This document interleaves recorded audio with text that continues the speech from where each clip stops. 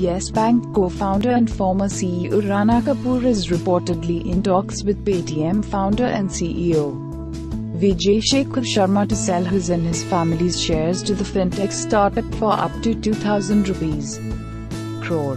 Kapoor and his family members reportedly hold 9.64% of Yes Bank shares. The stake is reportedly worth 1550 crore rupees as per current valuations. Subscribe to the channel for more news.